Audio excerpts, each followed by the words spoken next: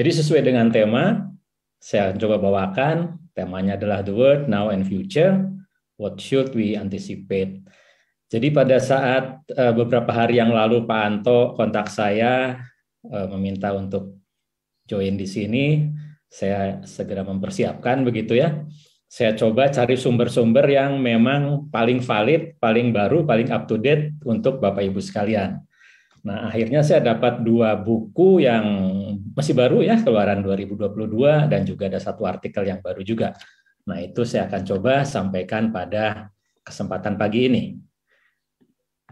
Oke, nah ini jadi ada tiga, tiga poin yang ingin saya sampaikan. Yang pertama adalah lima uh, global shift gitu ya. Jadi lima pengaruh di level global yang kira-kira akan uh, mempengaruhi semua hal yang kita alami begitu. Kemudian yang kedua khusus terkait dengan uh, teknologi dan yang ketiga, nah ini bagaimana dengan five global shift tersebut dan juga teknologi megatrend yang ada, bagaimana kita harus berpikir ulang, mendefinisikan ulang dan juga beradaptasi terhadap uh, apa yang kita lakukan ya apa pun bisnisnya begitu. Nanti juga ada beberapa case ya contoh uh, dari dua perusahaan yang saya akan coba sampaikan juga. Baik, kita mulai dengan yang pertama. Nah, oh ya, sebelum mulai ini jadi bukunya ini ya, Bapak Ibu. Ini eh, bukunya judulnya Business Trends in Practice The 25 Plus Trends That Are Redefining Organization. Karangannya Bernard Marr. Ini bagus banget menurut saya. Jadi nggak ada salahnya kalau Bapak Ibu nanti juga eh, baca buku ini gitu ya. Oke. Nah, sebetulnya apa sih lima global shift tersebut?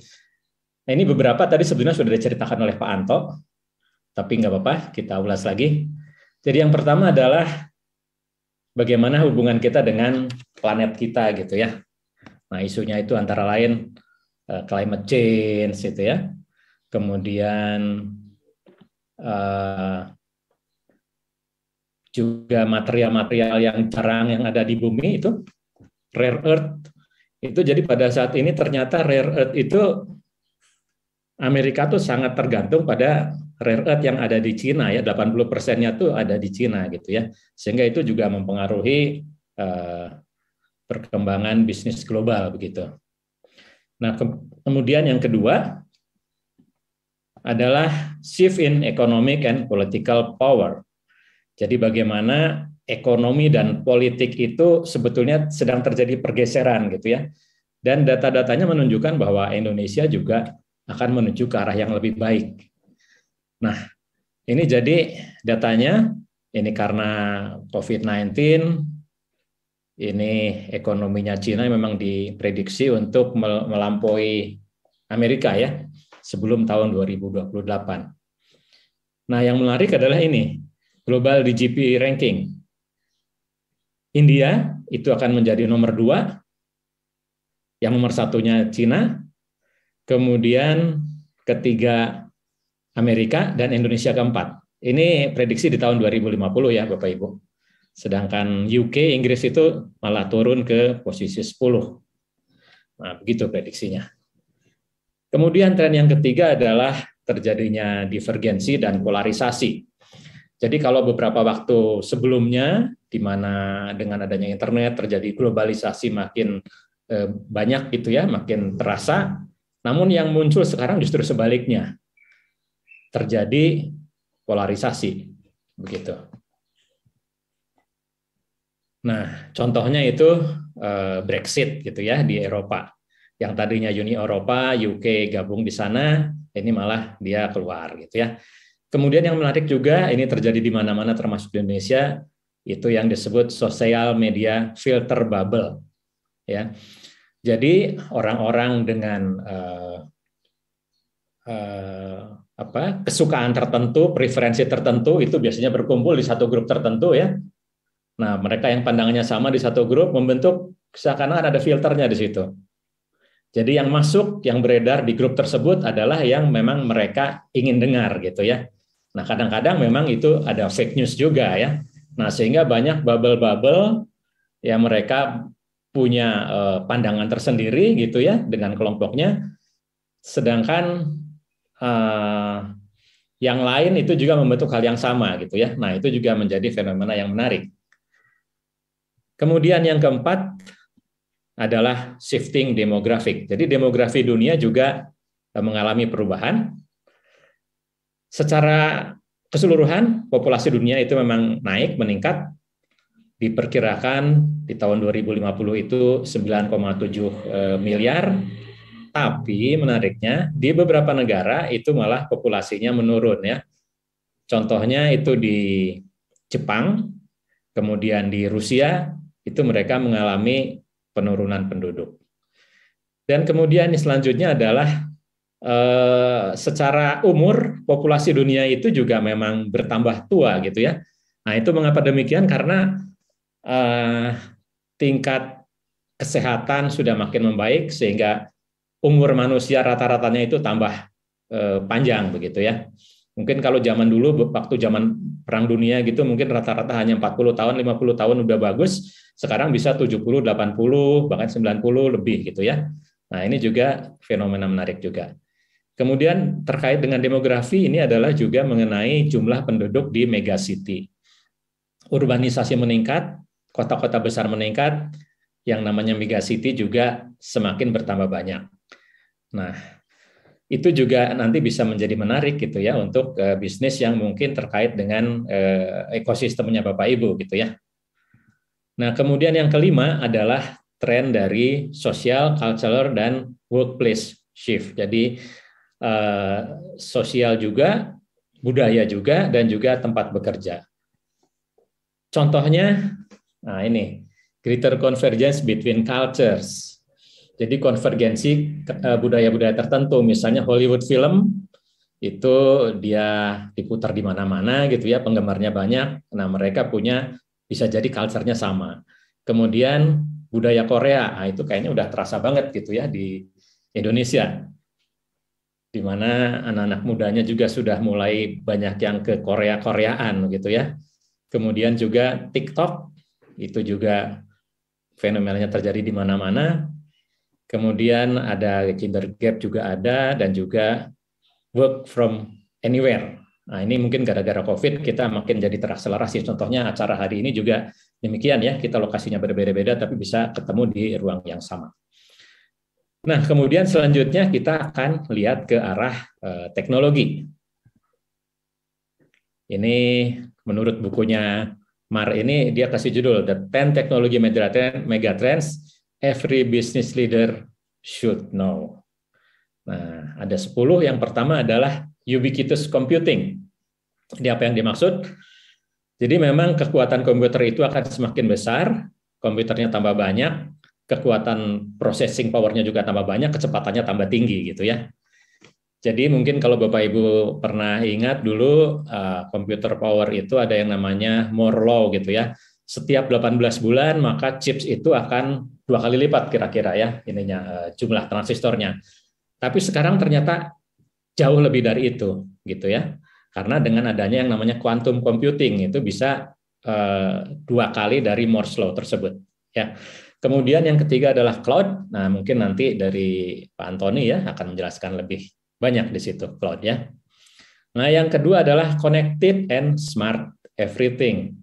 Jadi hampir semuanya sekarang terkoneksi, hampir semuanya menjadi smart gitu ya.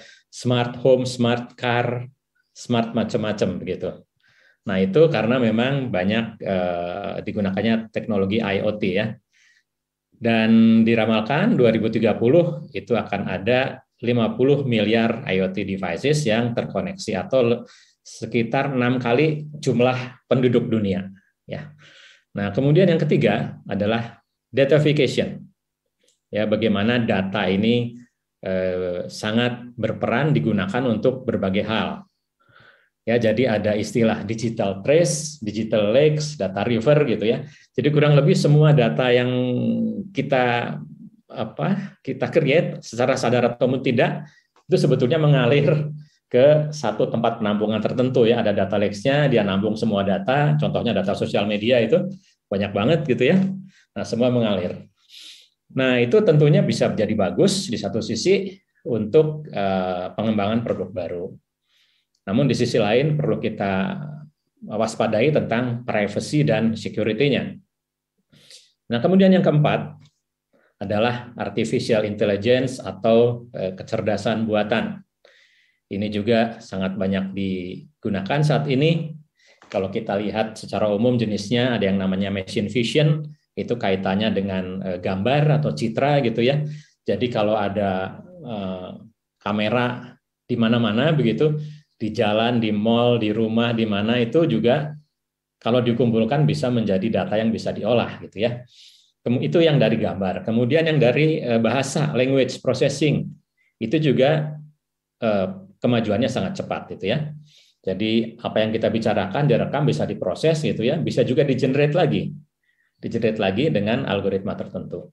Kemudian ada yang ke selanjutnya adalah tentang eh, RPA atau robotic process automation. Jadi ini juga sudah banyak digunakan di berbagai industri gitu ya.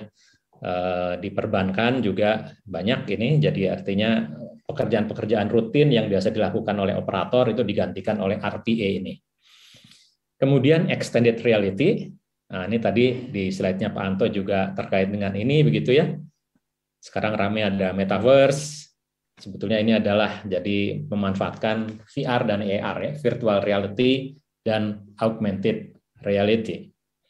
Kemudian yang keenam ini adalah digital trust. Bagaimana kita menjaga security gitu ya dengan uh, teknologi digital. Jadi kita kenal ada blockchain, ada distributed ledger gitu ya. Blockchain ini banyak dipakai di cryptocurrency misalnya, contohnya seperti itu. Namun tidak hanya itu sebetulnya ya. Jadi banyak eh, manfaat dari blockchain dan distributed distributed ledger ini. Karena memang dia betul-betul secure, bisa menghilangkan intermediari gitu ya, transparan juga dan transaksinya real time. Yang ketujuh adalah 3D printing. Saya kira ini Bapak Ibu sudah banyak paham juga 3D printing ya. Eh, kalau biasanya kita ngeprint yang 2D itu kan ngeprint di atas kertas, tapi kalau yang 3D ya yang dihasil yang di print itu 3D ya, layer by layer. Nah, ini juga penggunaannya sudah semakin masif, semakin banyak di berbagai bidang ya di bidang perumahan juga ada tuh bikin rumah pakai 3D printing begitu ya. Katanya sih bisa 50% lebih murah gitu ya. Kemudian di bidang kesehatan juga gimana mereka bikin jantung buatan gitu pakai 3D printing itu juga saya pernah baca juga. Nah, kemudian yang kedelapan adalah gene editing and synthetic biology. Bagaimana gen-gen makhluk hidup itu bisa diedit gitu ya sehingga menghasilkan uh, yang lebih baik. Ya walaupun ini agak-agak uh, apa ya di sisi tertentu mungkin agak bergeseran atau apa ya dengan uh, etika gitu ya. Karena memang uh, apa uh, risetnya juga sangat masif juga di sini. Jadi DNA-nya bisa diubah sel-selnya bisa diubah. Ini juga sudah banyak diaplikasikan misalnya untuk di agriculture menghasilkan buah yang lebih baik gitu ya. Eh, chemical juga healthcare. Cuma kalau untuk yang ke arah manusia mungkin itu yang agak-agak dalam tanda petik jadi perdebatan gitu. Nah, kemudian yang kesembilan adalah nanoteknologi dan material science. Ini juga sangat penting dan uh, sangat berpengaruh dengan riset yang ada di bidang nanoteknologi ini banyak dihasilkan material-material baru yang bisa membuat uh, operasional itu lebih efisien. Contohnya untuk baterai gitu ya dengan nanoteknologi dia bisa uh, discharge dalam tujuh menit gitu ya. Kemudian juga ada yang namanya perovskite itu untuk mengkonversi penyerapan di solar energi ya, yang tadinya hanya 16 persen dia bisa menjadi 66 persen, hampir eh, empat kali lipat. Nah, kemudian yang terakhir adalah new energy solution. Ini contohnya adalah nuclear fusion dan green hydrogen ya. Jadi kalau di nuklir itu dulu kita kenal ada yang namanya fisi gitu ya, dipecah. Kalau ini fusi, justru digabungkan dia menjadi satu eh, material baru, kemudian ada sisa energinya. Nah, sisa energinya itu yang menghasilkan energi baru. Kurang lebih seperti itu. Nah, selanjutnya kita masuk ke bagian yang ketiga. Jadi kita tadi sudah melihat five global shift dan juga ten teknologi megatrend. Nah, ternyata hal-hal tersebut membuat uh, kita harus berpikir ulang tentang berbagai bisnis gitu ya. Ini kalau di buku ini ini uh, ada dibagi tiga. Yang pertama uh, key sektornya ya. Jadi sektor energi itu juga nanti akan banyak berubah, sektor kesehatan juga, sektor pendidikan juga, agriculture juga ya tadi contohnya dengan eh, modifikasi tadi bisa merubah uh, bisnis agriculture, kemudian manufacture and construction juga dengan adanya teknologi misalnya IoT, kemudian 3D printing dan sebagainya. Transportasi juga dengan IoT dan berbagai hal yang lain tadi. Finansial ya dengan blockchain dan sebagainya. Ini sektornya. Kemudian cara kita mengoffer bisnisnya juga berubah juga. Bagaimana kita membuat eh, channel-channel digitization. Kemudian produknya, servisnya itu juga dibuat lebih smart, gitu ya. Kemudian dengan adanya data yang begitu berlimpah, kita bisa eh, mengatur timing dan personalisasi pada saat kita menawarkan produk kita ke customer. Kemudian yang keempat itu adalah as a service, subscription, jadi arahnya ke sana. Kalau yang tadinya mungkin solusi bagi perseorangan begitu total, sekarang dibuat jadi lebih masif. Kita daftar subscription, tapi bisa mendapatkan service-service yang tadinya begitu mahal misalnya ya. Kemudian juga yang kelima ini adalah direct to consumer. Dengan teknologi ini sangat memungkinkan. Kemudian ada juga platform sharing ekonomi yang tadinya B2C sekarang ada istilah baru menjadi A to A, all to all begitu ya. Kemudian yang penting juga adalah experience, bagaimana membuat pelanggan itu betul-betul merasa experience-nya eh, menakjubkan gitu ya. Nah, yang terakhir adalah sustainable responsible product. Dan satu lagi bagaimana bisnis itu dioperasikan ini juga perlu di rating juga ya. Bagaimana supaya sustain, resilient operation ya Kemudian juga yang kedua ini adalah blended workforce. Bagaimana para pekerja ini nanti bisa blended dengan mesin, dengan robot dan sebagainya. Kemudian cara kita untuk merekrut orang, finding dan keeping talent, tetap menjaga supaya tetap kerja dengan senang itu juga eh, berubah juga gitu. Contohnya sekarang dengan LinkedIn itu juga kita bisa merekrut dengan lebih tepat ya. Kemudian secara organisasi juga yang tadi sempat disinggung Pak Anto, flat agile organization. Kemudian authenticity, gimana kita beroperasi juga betul-betul otentik dengan bisnis yang uh, sesuai gitu ya. Dan purposefulness, tadi saya ingat ini di slide terakhirnya Pak Anto, ada purpose, integrated collaboration, dan yang kedelapan adalah new form of funding. Bagaimana kita memperoleh pendanaan dengan cara-cara yang baru, begitu ya, dengan venture capital, crowdfunding, dan sebagainya. Nah, ini kira-kira seperti itu. Kemudian selanjutnya, ini ada satu saya ambil dari artikel di Harvard Business Review. Ini adalah the four pillars of successful digital transformation. Jadi menurut dia, ini ada empat pilar ya. Yang pertama adalah IT uplift. Sebentar, kita bikin pointer dulu. IT uplift, kemudian digitizing operation. Jadi yang IT uplift ini adalah bagaimana meningkatkan IT yang sudah ada ya, kemudian bagaimana mendigitalkan, mendigitalisasi operasinya, kemudian digital marketing, pemasarannya, kemudian new ventures atau unit bisnis baru, perusahaan baru ya. Nah, di, di Sebelah kiri ini kita akan bisa lihat nanti buatnya ini apa, benefitnya apa, capabilities yang diperlukan apa, kemudian si level sponsornya siapa dan KPI-nya apa. Kita akan lihat secara singkat. Untuk IT uplift, tentu saja ini adalah memodernkan existing IT. Benefitnya ini adalah platformnya lebih fleksibel, juga ecosystem of tools ya. Kita punya tools yang beragam, yang banyak di dalam satu ecosystem. Kemudian kapabilitas yang diperlukan ini tentunya IT architect, DevOps teams, dan juga change management.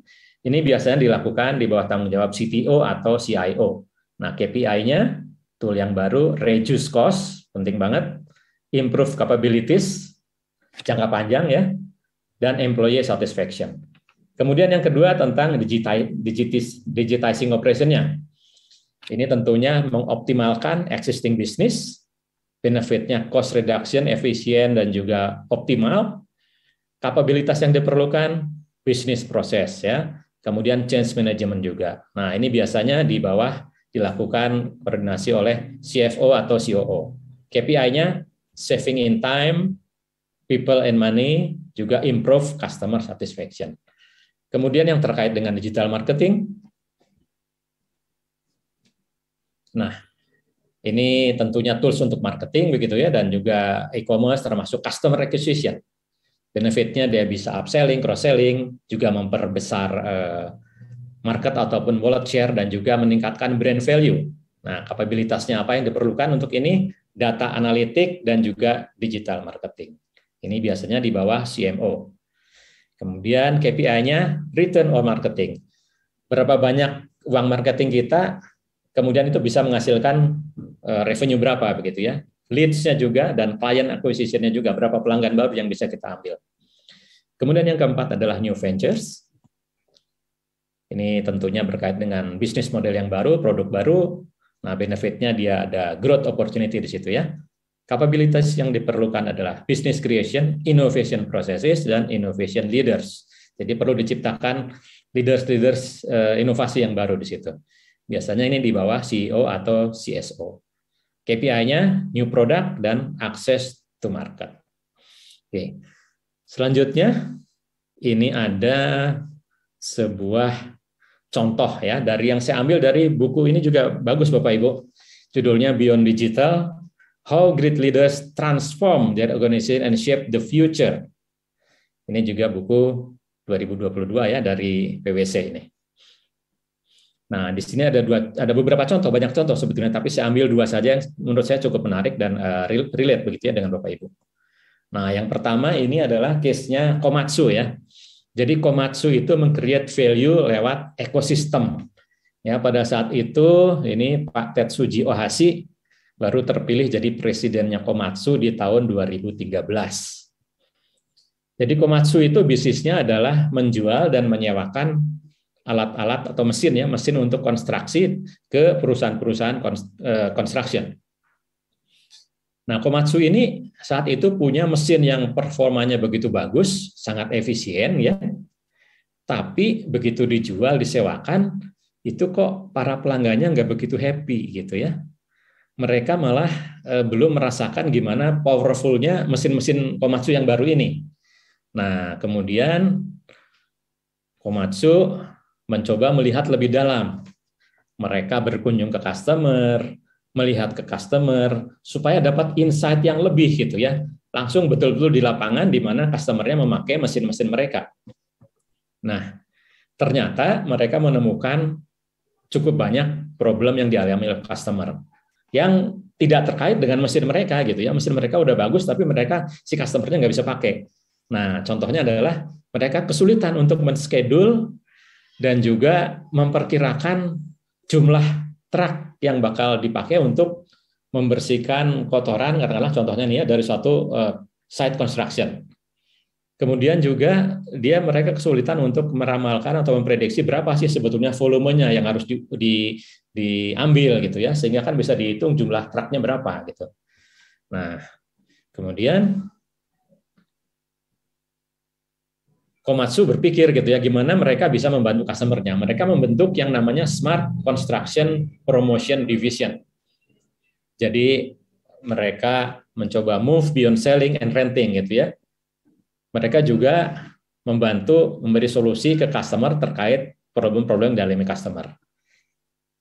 Jadi mereka pakai high resolution drone, kemudian juga mereka membuat uh, geographical data di 3D gitu ya untuk untuk mengolah uh, data-data ya uh, konstruk, lokasi konstruksi tersebut dengan AI juga dengan IoT juga Nah, kemudian mereka membuat uh, landlock platform ya.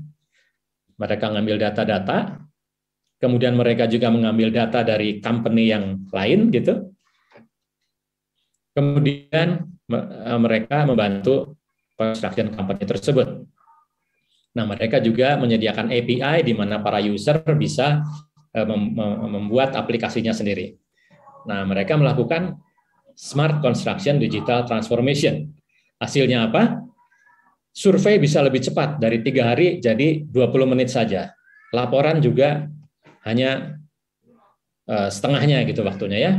Kemudian tentunya saving money dan reduce uh, cost juga dan juga menurunkan pressure di para pekerjanya. Nah, tahun 2020 mereka sudah melayani lebih dari 10.000 construction worksite di Jepang dan juga mereka expand ke negara lain ke US, UK, Jerman, Prancis dan Denmark. Nah, kemudian ini ada satu contoh lagi ini Microsoft ya. Jadi Microsoft Journey itu uh, capabilities based organization. Ini ceritanya tahun 2014. Satya, Satya Nadella saat itu ditunjuk sebagai CEO. Nah, saat itu kondisinya uh, penjualan PC itu menurun. Sedangkan yang namanya mobile itu lagi naik-naiknya. Padahal Microsoft itu kan jualannya di software untuk PC gitu ya. Jadi kebayang tuh bisnisnya lagi turun.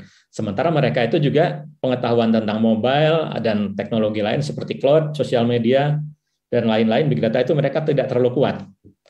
Nah, kemudian Satya dan timnya ini merubah visi yang tadinya dari a computer on every desk in every home, jadi mereka fokusnya ke komputer gitu. Mereka bikin visi baru to empower every person and every organization on the planet to achieve more. Jadi mereka lebih masuk ke bagaimana membantu customer tersebut. Nah, mereka bikin strategi baru mobile first, cloud first yang akhirnya dirubah juga tuh jadi AI cloud first. Kemudian mereka melakukan transformasi yang tadinya software oriented menjadi cloud oriented company.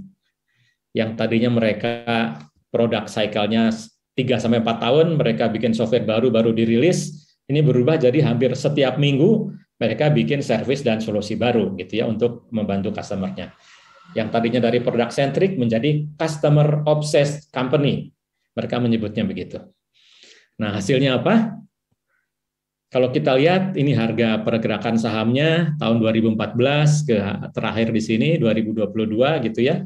Ini kurang lebih naik 8 kali lipat dalam 8 tahun.